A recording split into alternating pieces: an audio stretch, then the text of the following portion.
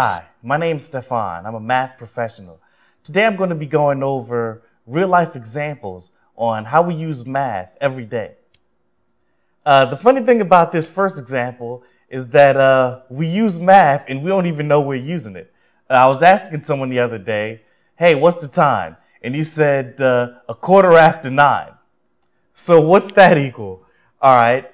So he said a quarter after nine. So it's nine plus a quarter percent of an hour. So a quarter, 25% of 60 minutes.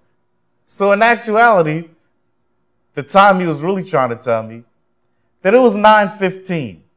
He was using math and he didn't even know it.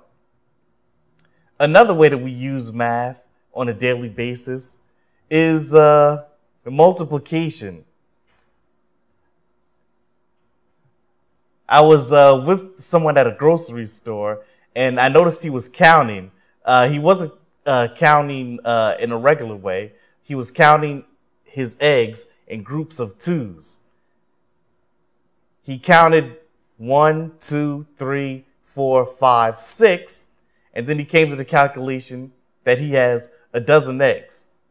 So I noticed he, since 12 is a dozen, 12 equals one dozen. When he counted to six, that means he was counting in groups of two. Two, four, six. So six times two gives you 12. So those are real life examples on how we use math every day.